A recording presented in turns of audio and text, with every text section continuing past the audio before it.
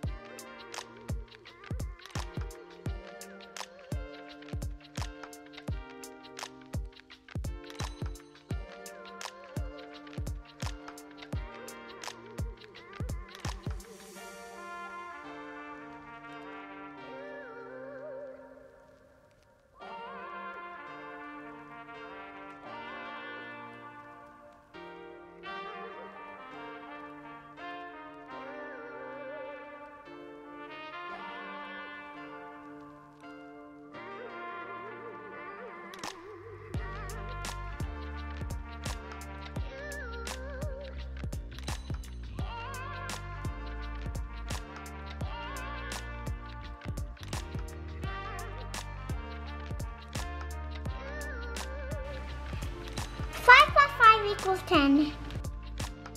So our daughter was watching what was going on and as soon as he finished she got in there and started mimicking what she saw.